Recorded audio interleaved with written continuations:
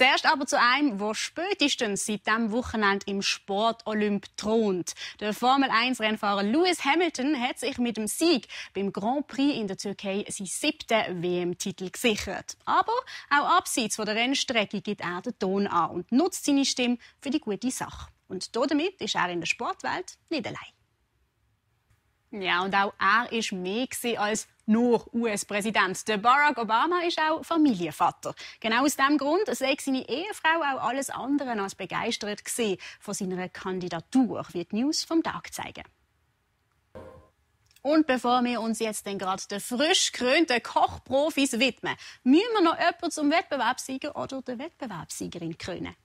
Und ich hoffe, sie führt ihren Weg schon morgen wieder vor dem Fernsehen. Und zwar am 20 vor 7 zu mehr Glanz und Gloria hier auf SRF 1. Ich würde mich freuen und wünsche einen erholsamen Abend. Auf Wiedersehen miteinander.